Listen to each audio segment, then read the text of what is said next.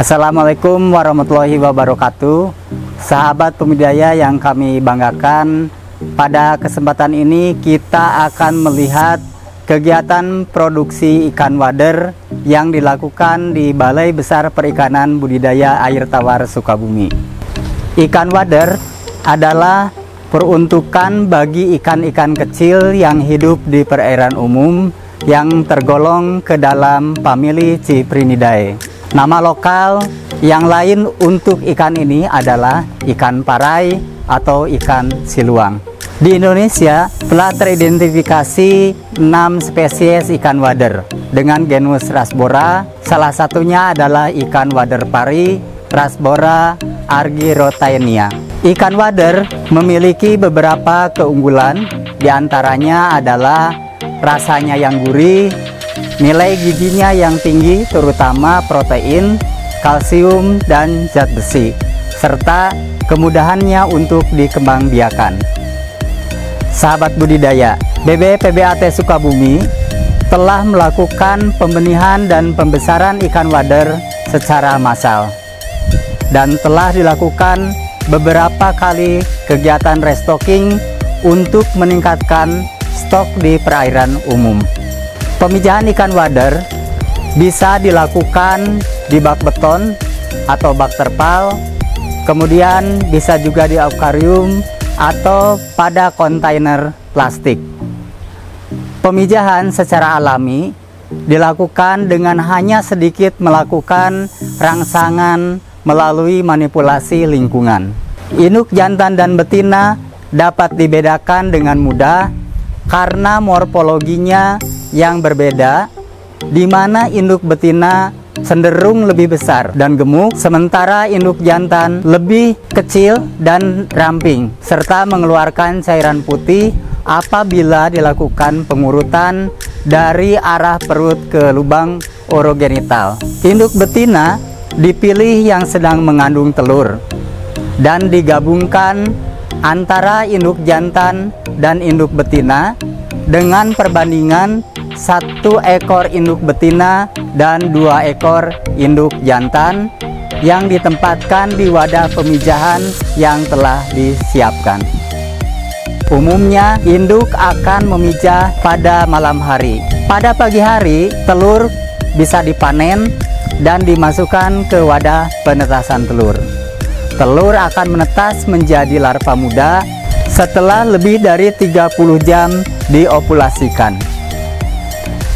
Induk betina yang memiliki ukuran di atas 10 cm akan mengeluarkan telur sebanyak kurang lebih 5000 butir per induk dengan derajat penetasan berkisar antara 75 sampai 80%. Pada saat menetas, larva wader memiliki ukuran yang sangat kecil, yaitu hanya 0,25 cm.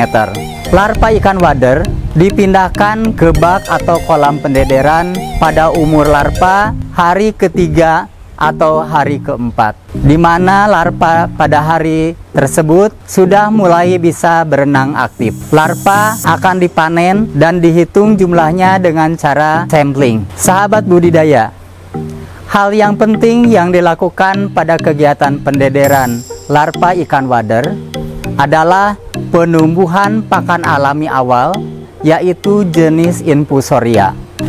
Bak pendederan dibersihkan lalu diisi air setinggi 40 cm lalu dimasukkan beberapa helai daun pisang kering dan air dibiarkan tergenang tanpa aerasi selama minimal tiga hari dalam rangka menumbuhkan infusoria.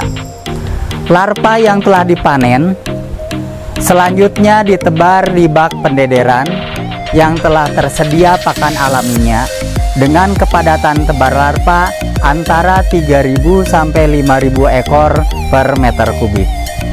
Selama satu minggu pemeliharaan, larva hanya memakan pakan alami infusoria. Setelah itu, air dinaikkan ke level 80 cm aerasi dinyalakan dengan level kecil dan mulai diberi pakan kutu air serta pakan buatan yang berbentuk tepung. Pendederan ikan wader dilakukan selama satu bulan dan ikan akan mencapai ukuran antara 1 sampai satu setengah cm.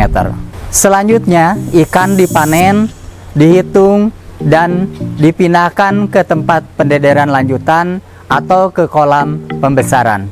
Pada umumnya, kelangsungan hidup ikan wader di kolam terkontrol pada pendederan pertama ini bisa mencapai lebih dari 95%. Sahabat budidaya, kegiatan pendederan lanjutan atau pembesaran ikan wader dilakukan di kolam dengan kepadatan antara 100 sampai 200 ekor per meter kubik.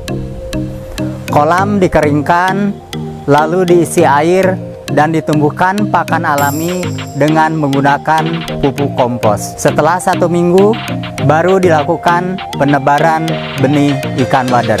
Pakan buatan diberikan dengan frekuensi dua kali sehari yang berbentuk tepung dan krembel. Benih ikan wader dari ukuran 1 sampai 1,5 cm selama 75 hari pemeliharaan akan mencapai ukuran 3 sampai 5 cm. Dan ukuran ini sudah menunjukkan tingkat pembentukan gonad pertama kali.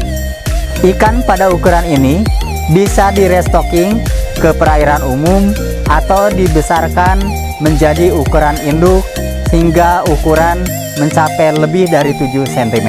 Para pembudidaya yang budiman, demikianlah sepintas kegiatan produksi ikan wader yang dilakukan di Balai Besar Perikanan Budidaya Air Tawar Sukabumi. Semoga bermanfaat. Wassalamualaikum warahmatullahi wabarakatuh.